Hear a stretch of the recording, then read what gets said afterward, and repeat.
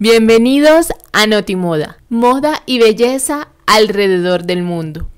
Esta semana tenemos un grupo importante de noticias de moda y belleza, así que comencemos. TheFashionNetwork.com Latin American Fashion Summit se convierte al digital y cancela su edición en Cartagena. Por medio de una carta, Estefanía Lacayo y Samantha Tams, cofundadoras de Latin American Fashion Summit, dieron a conocer la difícil decisión de anular la edición física del evento de este año, prevista a esta edición para el mes de noviembre en Cartagena, y optar así por el canal digital. Tenemos también Barrio Latino se estrena en el canal digital. La Concept Store colombiana Barrio Latino, que reúne más de 25 marcas y diseñadores latinos, incursiona en el canal digital. El lanzamiento oficial de la tienda en línea tuvo lugar la semana pasada a tiempo para la celebración del Día de la Madre. De la misma web, Avon invierte en Colombia en medio de la pandemia. Avon desembolsa más de 6.400 millones de pesos, unos 1. millones de dólares en ayudas y subsidios en Colombia, mientras retiene el talento humano y mejora las condiciones de sus vendedoras afiliadas o representantes. También de Fashion Network, Christian Dior abre un pop-up online exclusivo para Emiratos Árabes Unidos. Christian Dior ha abierto un pop-up online solo para clientes en los Emiratos Árabes Unidos. Dior llamó a la nueva tienda digital su primera boutique digital efímera desarrollada exclusivamente para los Emiratos Árabes Unidos. De la misma página, Alibaba lanza una plataforma outlet para los excedentes de lujo. El gigante chino del comercio electrónico Alibaba Group Holding Limitada ha lanzado una nueva plataforma de lujo enfocada a los jóvenes consumidores. El objetivo es vender los excedentes de inventario que las marcas de lujo han acumulado tras las órdenes de confinamiento debido a la pandemia. Leemos de Fashion Network, Argentina extiende la cuarentena hasta el 24 de mayo y amplía la apertura en casi todo el país. A través de un decreto de necesidad y urgencia, el presidente argentino Alberto Fernández anunció la extensión de la cuarentena hasta el 24 de mayo y la entrada en una cuarta etapa en todo el país, menos en el área metropolitana de Buenos Aires. Continuando con fashionnetwork.com, desde el sector argentino de la indumentaria piden aplazar la fecha del Día del Padre. La Cámara Industrial Argentina de la Indumentaria pidió a la Secretaría de Comercio Interior que evalúe la postergación del Día del Padre, fecha que en Argentina se celebra siempre durante el tercer domingo de junio. De la misma página, el Salón de Relojería Base World renuncia a la edición de 2021. Los organizadores de la Feria de Relojería Basel World anunciaron el pasado jueves que no realizarán la edición de 2021 del salón tras haber cancelado la de 2020 debido a la pandemia del coronavirus. La supresión de la cita había generado un gran número de cancelaciones de expositores en un evento que ya pasaba por dificultades. Leemos también de Fashion Network, las próximas pasarelas serán digitales. Pasarelas virtuales, una propuesta que no es ciencia ficción, sino una nueva modalidad a la que se suman semanas de la moda como la de México, que empiezan a gestionarse para sortear los golpes del coronavirus y respetar las medidas de seguridad sin renunciar a presentar en pasarela las nuevas propuestas. Y en una última noticia de fashionnetwork.com se abre la convocatoria para el próximo Hot Sale Argentina. Los próximos días 6, 7 y 8 de julio se llevará a cabo en Argentina una nueva edición de Hot Sale, uno de los eventos de descuentos en e-commerce más importantes del año. Y a partir de ahora se encuentra abierta la inscripción de las empresas que quieran participar. Leemos de cnnespanol.cnn.com COVID-19, ante la nueva realidad llega una moda más realista. Y comienza con estas preguntas, ¿una moda más realista? ¿Cambian los tamaños de las tallas promedio? ¿Se acercarán más a la de la mayoría de las mujeres? Como sabemos, el mundo está cambiando vertiginosamente en los últimos meses en todos los aspectos de la vida, debido a esto a la crisis de COVID-19. Uno de estos cambios es la tendencia a las tallas grandes. En los últimos años ha tenido el ejemplo y apoyo de mujeres como la guapísima modelo plus size Ashley Graham, que sin duda ha abierto el camino para que se aceptaran con todo entusiasmo las mujeres curvilíneas de talla plus. Leemos de France24.com cambiar a la sociedad a través del pelo natural. La cantante Shingai trabaja en su nuevo sencillo Tambores de Guerra y desde su confinamiento llama a cambiar la sociedad desde el cabello.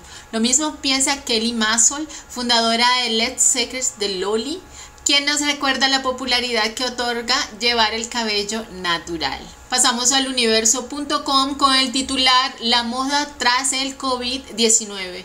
¿Cambiarán nuestros hábitos de consumo? Tras semanas de confinamiento, en abril se conmemoró en numerosos países la Fashion Revolution Week este movimiento surgió tras el derrumbamiento en 2013 del edificio Rana Plaza en Bangladesh para reivindicar importantes cambios sociales y medioambientales en la industria de la moda.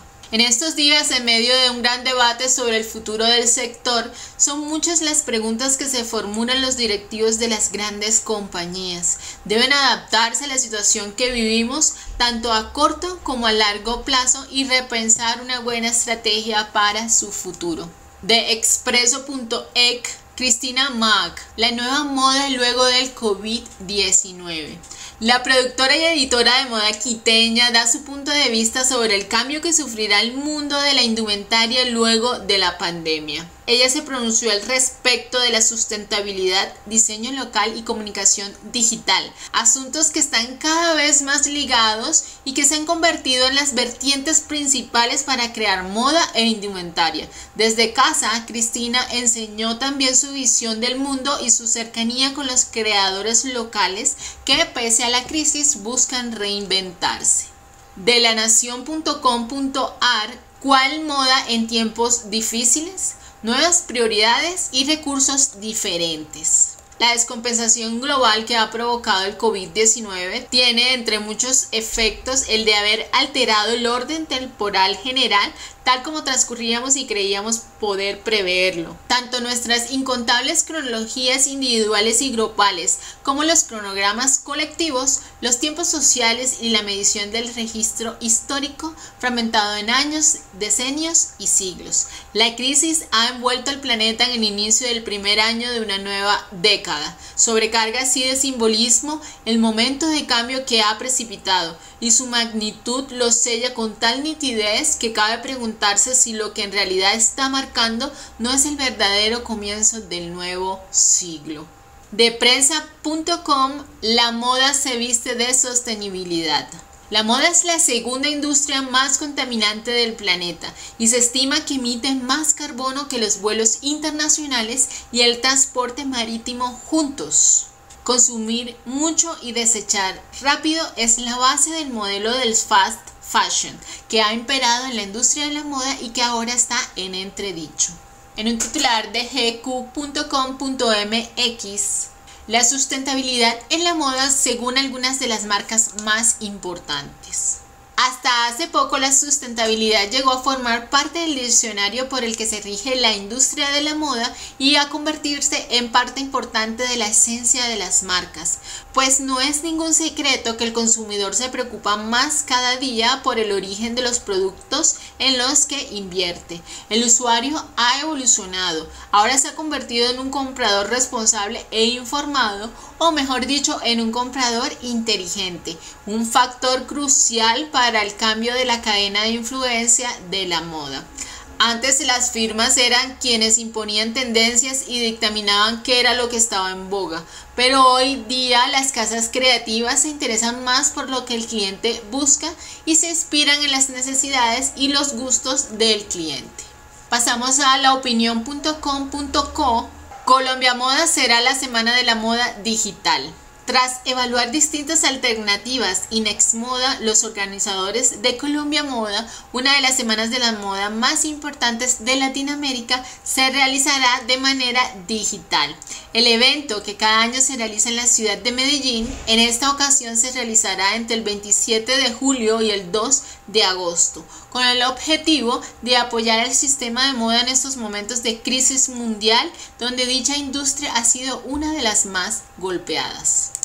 Pasamos al ordenmundial.com con la noticia La opresión del ideal de belleza, de Venus a las Kardashian. Desde las esculturas de mármol clásicas hasta la delgadez de las pasarelas de los años 90, los ideales de belleza han cambiado constantemente a lo largo de la historia. En la actualidad, la diversidad es canon, pero la belleza sigue sentada en uno de los estándares opresivos para muchas personas. Además, las dietas, el ejercicio o la cirugía estética no siempre garantizan alcanzar los objetivos. Nos dirigimos hacia un ideal de belleza más inclusivo o estamos perpetuando unos estándares inalcanzables?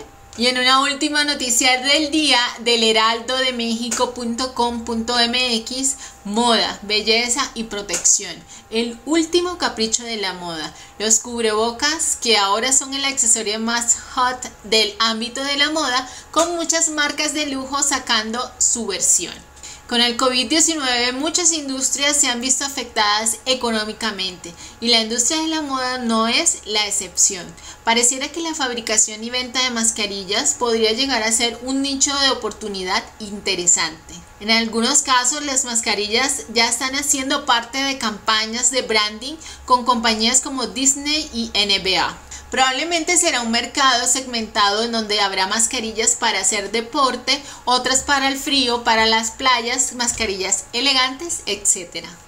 Hasta aquí las noticias de hoy. Los esperamos en nuestra siguiente entrega de noticias sobre moda y belleza. Te invitamos a conocer nuestra web www.stylepoint.club para toda la información de moda, belleza y asesoría de imagen. Y suscríbete a nuestras redes sociales para inspirarte con fotos, gráficos, videos y mucho más. StylePoint.club, un punto de encuentro entre la moda y la belleza.